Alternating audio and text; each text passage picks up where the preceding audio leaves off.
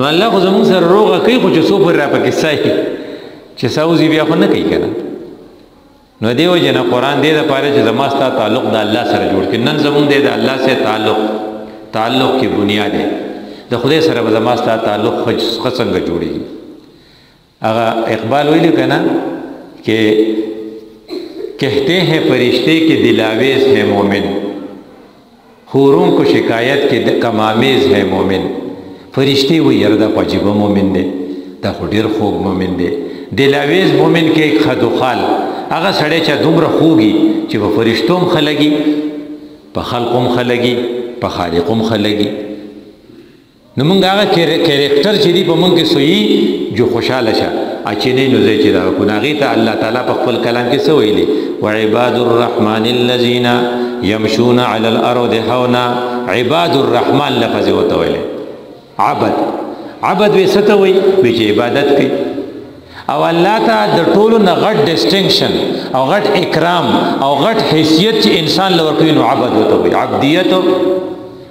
ګور رسول الله سلام چې تاسو لبا خدا خو در ذکر رسول الله سلام چې په بره خېجاو نو هغه کې بنی اسرائیل نو بنی آیاتونه سو سبحان الذي اسرا بعبده رسول الله ستړی شي او ډیر په طائف کې ډیر کړي دی له ډیر خپ شي او نو د خپ خان د ټینشن د کمولو لپاره الله وی چې زما به المشا چې لګری لیک شي د دې د دې طائف د سفر نه فورا بعد دغه معراج راغی نو چې بره بیا نو خدای سره ملاقات کوي نو هغه ته عبد وي وی نور وی د عبد بل قیمت ته خیم وی تاسو چې کومه کلمه وایې پاغه کې د رسول نه عبد مخ کې دی نو زره ته کلمې نه مې ځونی مې وایره تر تاسو وایې اشهد ان محمدن ور عبده مخ کې نه دی ورسوله ته ورسته دی نو عبد ډیر خوږ دی الله ته په نومونو کې خوږ نوم د الله سو دی الرحمن رحمان او د الله خو ننان مې نمونه دي کنه نو دا نور نمونه ته بل چاله کې خو دې شي یو اسم ذاتی دی الله نو الله ته چاله نشي کې خو دې او یو رحمان دی چې دام باغه پورې خاص دی لکه یو سړی ته رحیم جی سه ویل شي عبدالرحیم جی سه ته رحیم جی سه ویل شي خو عبدالرحمن ما ما ته رحمان جی سه نشي ویل رحمان نوم خدای ته یوازې د خدای لپاره خاص دی مخلوق له یوازې نشي کولای عبد الرحمن محمد رحمان دا ویلې چې مطیع الرحمن خو رحمان ته یوازې نشي ویلې نو رحمان کې څه شل دی د رحم دا ټکی دی پکې او رحمان چې کله رحم دغه وی کنه غولې چې وی کم شی چې غولې وای کنه دې کې دغه دا زوري نو پاغه په عربی کې بیا د فعلان په وزن راځي لکه سړی ډیر غوسه دی هغه ته سوې غضبان یو سړی ډیر تګې دی نو هغه ته سوې عطشان یو سړی ډیر وګې دی نو په عربی کې وته جوعان چې کله د رحمت جوش وای کنه نو دغه دغه ته رحمان وای او چې کله جوش نه وای خو مسلسلی دې ته رحیم وای نو دیو جن موږ د الله په نومونو کې سوایو بسم الله هر رحمان او ورپسې رحیم وایو نو رحمان عباد الرحمن ان هغه سړی به الوی چې نمبر 1 په دې کې عبدیتی عبدیت دې ته چې عبادت کوي در دې نوم نه پته ولګی دا او بل دا چې رحمانیت پکې ان په دې کې د مهرباني جذبه د غصې د جذبې نه غالب وي الله تعالی په خپل وای کنه وسعت رحمتي غضبي زما رحمت زما په غصه غالب دی دا الله غصه غره سره سم نه ده ما چې هغه سړی ولید کنه هغه چې په ګټو وشتو مې دا خو زما ایمان نه چې د خدای تر طرف نه مقرره سزا ده نو چې د دې ګناه دا سزا په دنیا کې ده ما چې ولیده چې په اخرت کې به د خدای سزاګانې څومره سخت دي نو چې رحمت یو طرف ته کې غضب بل طرف ته کې نو غضب خو اوم د سړی سوچ هم نشي کولای خو رحمت وي چې زما رحمت په غضب غالب دی نو کو ته دلاویز شخصیت جوړول غواړي کنه لومبنه کریکټر دا دی چې ستا مهرباني والا خوینه خواږه خوینه د ترخو خوینه نه په خواږه خوینه په ترخو خوینه غالبي کور کې زنانه د نم تنګي نه چې بیا راغی واړه د نم تنګ نه چې بیا راغی پوجره کې د نه د فقیرانو تنګ نه چې بیا راغی د چې نیکان موږ لیدلې دي چې هغه خپل فقیران دې ته نه پریدي چې تر بالغ ته ولې ډډه وخی توجره ته دې لراوته یا نیخ کې نه ته خو ما څه دغه هغه وی نه کا تر اوسه پورې خو ما لاو کاو اوس را لما کور راته جوړو کې نه جوړ دی هغه سبا تور سکته بو غواړي دی وینه زما سره تحصیل ته ځي بیا دې زره دې سکه چې خدای پاک دا بس چلتي چې ما سپخین راشي نو عزت د جنازې رزم زما سره بیا لاړ شه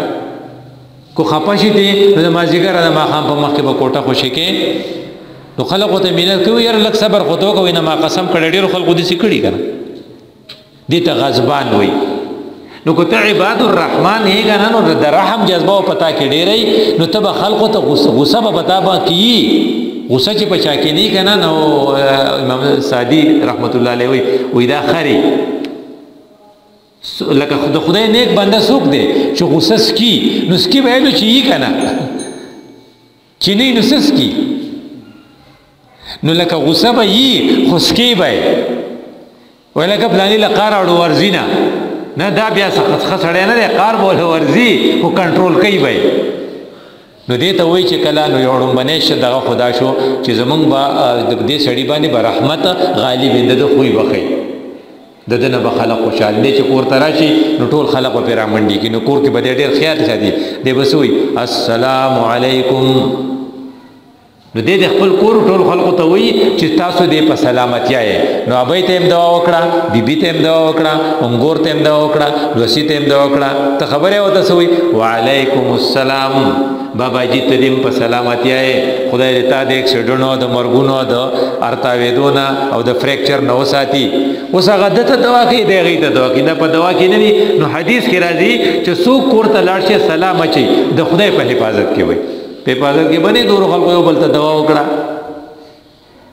دا سړی چې یو دی به کور نه ناسو نه به په جمعه ته ګټ کې ناسي يمشونا علی الارض حونا دی به چلت پیرت کوي دی به ګرځي را ګرځي دی به اکټیو لایف تیری دی به کله کله پانه ته رواني او کله به تور سکت زی او کله به روسم زی کله چار غولای ته يمشونا مشتلو ته وي خدای دا واک چې کنه راتلل د تلو انداز به راځي علی الارض حونا د تلونه به دي چې ټپکاویږي لکه دا چې جزه سړی نو دي چې نه چې کینه د خوار بزي خوار بنځي مضبوط بزي رسول الله صلی الله علیه وسلم په باره کې داري چې داغه چال بسنګو واک د یو سړي د واک نه دغه د شخصیت پته لګي د رسول الله صلی الله علیه وسلم واک چې دي سو لکه سړی چې په چړای کې کوزيږي مضبوط قدمونه به کې خودل نو قدمونه به مضبوطي او چې څوک وته وګوري ابو جر ډېر خسړې دی عبد الله ابن سلام رضی الله عنه چې يهودي عالم او ایمان نه راوړې چا وته وی په مدینه کې وی شور شو وی سجلې یو مل مر اغله دی د بار نه مکینه او یو چې زه پیغمبر یم عبد الله ابن سلام یې زینن دارا وکم دی و چې زور لما او ما دې چهره ته وکتل ما چې دا د دروغجن سړي چهره نشي کېږي چې ستا امپریشن چهره کې دي سي کنه ځکه چې پای کې کله غرور یې برید تا تا وکړي او لکه ته مچ نه پرې دی نو هغه به وچر دا سړی ډیر متکبر نه دی نو حولا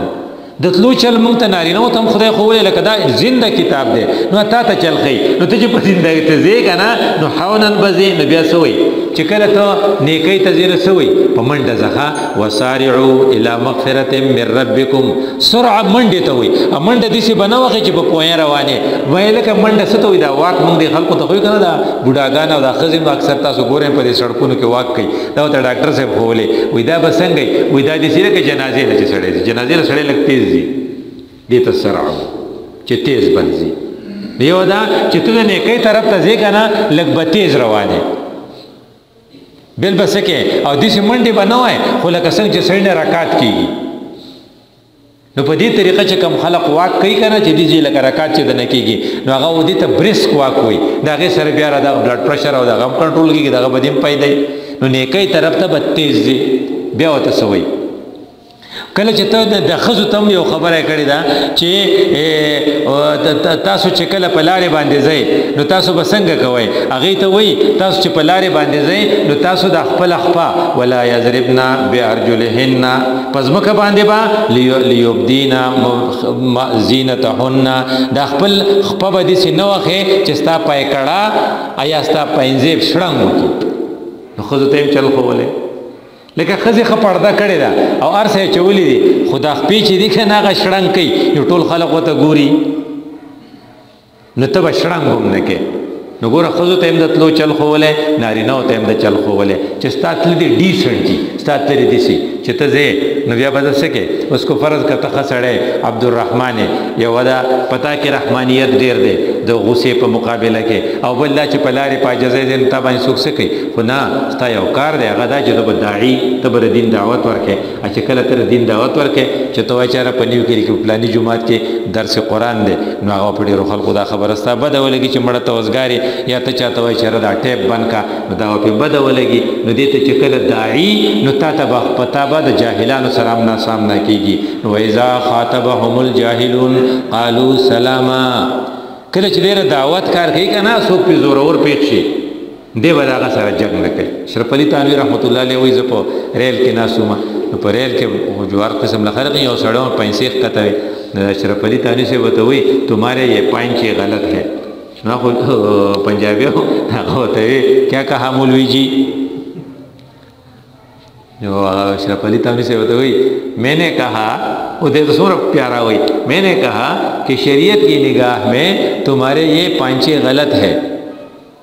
نو اوس نه فورن شریعت کې ما کو غالي دي